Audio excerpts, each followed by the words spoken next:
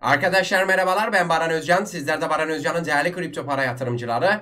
Güne güzel başladık. Bitcoin'de, altcoin'lerde güzel hareketlenmeler var. Özellikle Ethereum düşen trendi kırmasıyla birlikte altcoin'lerde pozitif ayrışmaların başlayabileceğinin bir işaretini verdi. Bu videomda sizlerle birlikte başta Bitcoin olmak üzere Ethereum, Sandbox, Cadena ve APA coinleri inceleyeceğiz arkadaşlar. Gelin hep birlikte lafı fazla uzatmadan analizlerimize geçelim. Analize geçmeden hemen önce de küçük bir hatırlatma yapalım. Kanalımızı ilk defa seyrediyor iseniz kanalımıza abone olmayı, bildirimleri açmayı, bu videoya da emeğimizin karşılığı için like atmayı unutmayalım. Boğa sezonu bence başlıyor. 1-2 aylık dilimde ben 4 aydır bunu savunuyorum. O yüzden bu kanala abone olup bildirimleri açmak sizlere güzel bir sezon geçirmenizi, sağlamlaştırmanızı sebebiyet verebilir. Gelin hep birlikte videomuza başlayalım arkadaşlar. Öncelikle Bitcoin'den başlamak istiyorum. Bitcoin FED kararından sonra 0.25'lik faizden sonra artık önünü görmeye başladı. Teknik analizde yükselişlerden artık yavaş yavaş ibareler vermeye başladı. Nedir bu hareketlemeler? Zaten alt kanal bant vardı ve burayı bu süreçte çok fazla denedik. İki kere de buranın altına inip tekrardan yukarıya çıkmayı becerdik. Bura çok önemli bir destek hattıydı. Bura ilk etapta yukarı yönlü kırıldı. Önümüzdeki engellerden biri bitti arkadaşlar. Şu anda düşen trendin kırıldığını. Yukarı yönlü hareketlemelerin tam eski direnç olan 40 bin bandının şu anda yeni bir destek seviyesi olduğunu, RSI'ın da önemli bir direnç olan 50 seviyesinin üzerine özür diliyorum tam olarak 53 seviyesinin üzerine kırdığını ve burayı da artık destek aldığını görüyoruz. Yani eski dirençler artık destek haline geldi. Yukarı yönlü hareketlenmelerini başlatabilecek potansiyelden bir tanesi. Keza şu anda baktığımızda da tam arkadaşlar şura 200 günlük hareketli ortalamanın da 40 bin desteğine geldiğini görebiliyoruz. Yani bura artık güzel bir destek haline geldi. Buranın kırılmasından sonra Bitcoin'in ilk solu 39.500 ardından da trend desteği 38.800 bantları olacaktır. Destekler bu şekilde ama artık direnç konuşmaya başlamanın zamanı geldi diye düşünüyorum. İlk direncimiz 42.550 dolar bandı. Burada arkadaşlar tutunması dahilinde çok sert bir yukarı yönlü hareketlenmeleri yapabilir. Çünkü burada bir W formasyonu var. Yani burada günlük bir mum kapatması ilk etapta hızlı bir şekilde 45.850 doları bizleri karşısına çıkartacak unsurlardan bir tanesi. Şimdi burada da tutunduğunda şurada bir çanak Buradan itibaren de bir kulp yapmış olacak ve artık rotasyon çok hızlı bir şekilde yukarıya doğru ölçülecek arkadaşlar. Ardından 52 bin, 55 bin şeklinde dirençler karşımıza çıkacak. Bunlar şu an 1-2 aylık dilim veya daha sonraki serüvenler. Şu anda baktığımızda önümüzdeki direnç 42.550. Burada tutunmasından sonra ilk hedef 45.850. Burada tutunmasında da çanak ve kulp getirecek. Ardından yukarı yönlü yeni yatırımcıları da alıp gidebilecek potansiyelde arkadaşlar. 1-2 aylık dilimde de ben çok güzel bir şekilde artık yukarı yönlü hareketlerin başlayacağını düşünüyorum. Fed'in olası hareketlemelerini de zaten çok zamandır yaptık. Artık yeterince ay piyasası yaptık. Boğa piyasasına geçmemiz dileğiyle. Şimdi altcoin'lerde de yüzümüzü güldüren ve altcoin'lerin hareketlerini sağlayabilecek tek unsur şu anda Ethereum arkadaşlar. Ethereum'u bildiğiniz üzere ben düşüş trendinde yani düşerken 2620 dolardan satın aldım. Satın aldım ki biliyorum çünkü ben Ethereum'a güveniyorum. Hem projesine hem de altcoin'lerin öncülüğünün yapacağını düşündüğümden ötürü ilk başta oradan bir Ethereum'a giriş yaptım. Şu anda baktığımız zaman Ethereum arkadaşlar şu ibare itibariyle düşüş trendini kırdı. Yani tam olarak 2600 dolarda düşüş trendini kırdı. Yukarı yönlü giderek birinci direnci de çok rahat bir şekilde aştı. Neydi bu direnç? 2850 dolar bandı. Şimdi buranın da kırılmasından sonra artık diğer direnç hattını konuşuyor olacağız ve en önemli dirence doğru geliyor olacağız. Şu andaki direnç Ethereum'da 3000 dolar bandı arkadaşlar. Şimdi bir RSI'ye bakmak istiyorum. RSI daha önce şuralardan arkadaşlar tepe noktalarını hesapladığımızda Ethereum'un fiyatı 3050 dolardı. Yani 3050 dolardan tarih 2 Mart şu anda tarih 19 Mart. Arada 17 günlük bir serüven var. Yani 17 günlük dilimin hala altında. Ama RSI'ye baktığımızda tam şurada RSI 69 iken şu anda RSI 73 seviyesinde. Yani fiyat 17 gün öncekinin daha altındayken RSI 17 gün öncekinin daha üstünde. Burada bariz bir şekilde pozitif uyumsuzluk vardır. RSI'da pozitif uyumsuzluk yükseliş ibaresi getirir. Yani Ethereum'un şu anda teknik analizi çok güzel bir şekilde ilerliyor diyebilirim. Hem düşen trend kırılmış hem burada net bir şekilde pozitif uyumsuzluk var. Hem RSI çok ciddi bir şekilde yukarıya çıkmış. Hacim çok güzel bir şekilde artış sağlıyor. Artık buradan sonra da yukarı yönlü hareketlenmelerin başlaması gerekli diye düşünüyorum. Bitcoin önünü kesmediği sürece. Ethereum'un teknik analizi bana göre çok güzel arkadaşlar. Direnç seviyelerine baktığımızda 3032 karşımızdaki ilk direnç seviyesi olarak karşımıza çıkmakta bu bölge. Bu bölge çok zorlu bir direnç değil. Ardından şu bölge zorlu bir direnç. 3300 dolar bandı. Bura kırılırsa çok net bir şekilde bir W formasyonu artı şurada çanak şura itibariyle de bir kulp yapmış oluyor. Ardından orada bir günlük mum kapatması altcoin'lerinde Ethereum'un da çok güzel bir şekilde yükselişine sebebiyet verebilecek unsurlardan bir tanesi arkadaşlar. Ardından 3653 işte şu ibarelerden 4200'ler derken artık yeni yeni all time high'ları direnç vermeye başlayabiliriz. Ethereum'un şu anda teknik analizi bana göre çok güzel. Baktığımız zaman Ethereum'un ilk yükseliş ibaresi 26 Şubat 2020 itibariyle başlamıştı. Ve bura artık en alt destek hattı haline geldi. Buranın altına inmediği sürece problem yoktu. Daha önce buradan sekip tam destek hattı itibariyle Ethereum %243 arttı. Ardından tekrar buralara gelip bu desteğin sonucunda %180 yaptı. Buraları bir ikili dip de düşünebilirsiniz. Ardından yine bir dip yaptı şu bölgede. Buradan itibariyle %48 yükseldi ve şu bölgede yeni bir dip yaptı.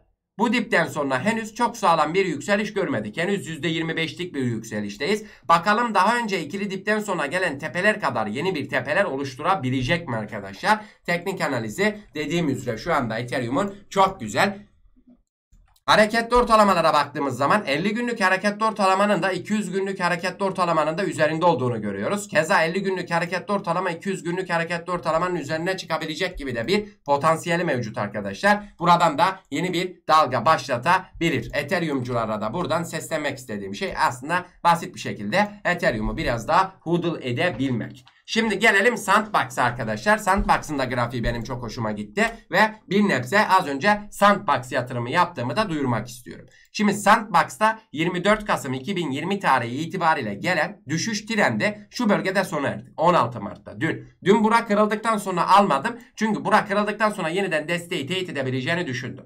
Şimdi bu desteğe geldi ve ben bu bölge itibariyle tekrardan bir giriş yaptım arkadaşlar. Sandbox'ın teknik analizinde de şu an tepe itibariyle düşüş trendi sona ermiş durumda. Destek hattı da zaten dip seviyelerde buralarken desteğin de çok uzun bir süredir çok güzel çalıştığını görüyoruz. Metaverse evreninde de çok büyük bir pazara sahip olan Sandbox'ın projesinin ne kadar büyük olduğunu biliyoruz. Sandbox, Mana, Axie Infinity şu anda Metaverse'de zaten öncülüğü çeken 3 coin arkadaşlar. E baktığımız zaman projesi de çok sağlam. Hani e, DeFi'nin Ethereum'u, AVAX'ı işte Chainlink'i gibi. Benim gözümde Metaverse'de Sandbox, Mana ve arkadaşlar Axie Infinity. Ha bunlardan ziyade ben Alice'e daha fazla güveniyorum. Onu her zaman vurguladım. Vurgulamaya da devam ederim. O ayrı bir mesele. Ama şu anda Sandbox'ın teknik analizi bana göre yükselişten yana arkadaşlar. Baktığımız zaman şu bölgede RSI çok sert bir şekilde yükselmişti. 74. Ardından RSI şuradaki boşlukları doldurdu arkadaşlar. Ve teknik analizde de şu bölgeyi tekrardan bir destek aldı. Şimdi buranın altına kırılırsa yani 3.03 dolar kırılırsa Sandbox tekrardan bir 2.68-2.80 desteklerini deneyebilir arkadaşlar.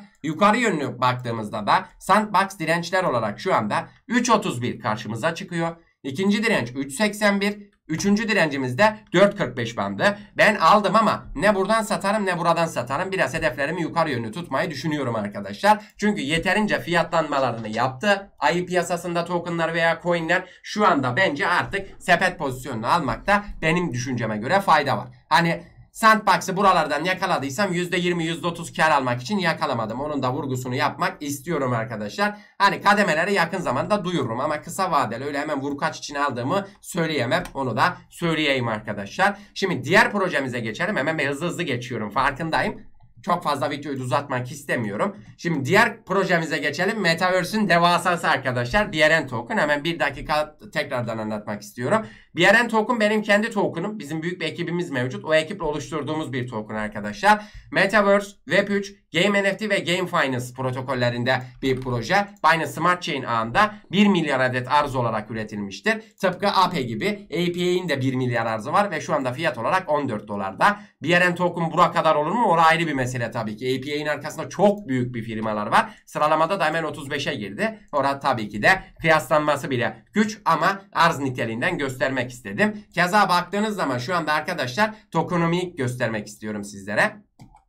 Tokonomi kısmında da %15 burn edilecek. Yani toplamda 1 milyar arz var ama maksimum arzdan yakım yapılacak ve mind özelliği aktif değil. Yani arz arttırılamaz arkadaşlar. %15 burn sonucunda da 850 milyon bir arza sahip olacağız ve her alım satında da %2 holderslara dağıtım mevcut arkadaşlar. Şu anda 2 adet global borsayla anlaştık. Azbit ve CoinSpeed ayın 25'inde iki global borsadan da duyurular gelecek ve CoinsBit'te de bir ön satış başlayacak. Şu anda benim kendi resmi yapmış olduğum ön satış yerinden 0.20 sente satıyorum. Global borsada CoinsBit'te 0.40 dolardan satılacak. Bilginiz olsun arkadaşlar. Şayet Metaverse projesine veya Web3 projesine yatırım yapmayı düşünen yeni bir proje arıyor iseniz BRN token'ın yol haritasına Şuradan yol haritasına, şuradan white paper'ına Türkçe şeklinde bakabilirsiniz. Dilerseniz de dil seçeneğinden İngilizcesine bakabilirsiniz arkadaşlar. PancakeSwap listelenmemizde 40 centte. PancakeSwap'te total bir ay veya daha az durmayı düşünüyoruz. Çünkü halihazırda 2 adet global borsayla anlaştığımız için geçişimizi hemen yapacağız arkadaşlar.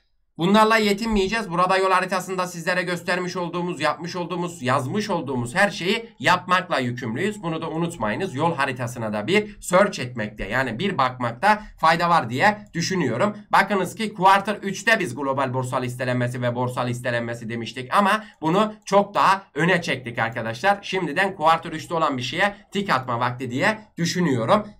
Sizler de şayet ön satıştan alım yapmak veya yapmamak tabii ki de şahsın kendi kararıdır. Projeyi araştırmadan yatırım yapmayınız. Projeyi iyice bir inceleyiniz. Metaverse'de unik bir oyuna sahip. Anlatmakla bitmez özellikleri mevcut. Açıklama kısmında ve yoruma sabitlediğim linkte bütün sosyal medya hesapları mevcut. Alımla ilgili bir problem yaşarsanız Telegram grubumuza katılıp oradan direktmen bizlerle iletişim kurabilirsiniz. Moderatör ekibimiz 724 sizlerle birlikte ilgilenecektir arkadaşlar. Faz 1 bitti. Totalde 600 BNB'ye yakın bir satış yaptık. Şu anda faz 2'deyiz arkadaşlar. Çok güzel bir ilgi var. Onu da söylemek istedim. Global borsa duyuruları geldiğinde çok yoğun bir şekilde e, globale açılmayı düşünüyoruz. Keza şu anda globalde de reklamlarımız başlayacak. O zaman bazı şeyler geç olabilir diye düşünüyorum. Şimdiden tekrardan bir hatırlatmamı yapmak istedim. Almak almamak tabii ki de yatırımcının kendi kararıdır. Bunu da unutmayalım. Ben sadece burada bir anımsatmak istedim. Şimdi gelelim Kadena yatırımcılarına arkadaşlar. Kadena'nın şu anda bir borsa listelenmesi oldu. Şuraya geçelim. Oradan bir boğayı da gördük bu arada. Şöyle güzel bir boğa görüyorum burada da. İştahlı bir boğa. Bakalım ne zaman o boğanın pençesini yakalayacağız arkadaşlar. Kadena yatırımcılarına söylemek istediğim aslında şuradan biraz da resmi bir şekilde inceleyerek gitmekte fayda var. Çünkü Kadena gerçekten çok sağlam bir proje ve yatırımcılarının asla korkabileceği bir proje değil. Totalde arkadaşlar bakınız 3, 6, 9, 10. Totalde 1 milyar adet arzı sahip. APA'in de totalde 1 milyar arzı var. Ne tesadüf BNN token'ın da 1 milyar arzı var. Ama bakın arkadaşlar burada mevzu şu. APA çok yüksek sıralamayla girdi. Çünkü adamlarda o kadar büyük para vardı ki şuraya bakar mısınız? Binance geçen sene hiç kimseyi listelemedi. Adamlar bu sene direkt APA'yı listedi. Coinbase, Gateo, KuCoin, FTX, Huobi, Uniswap hadi bura neyse.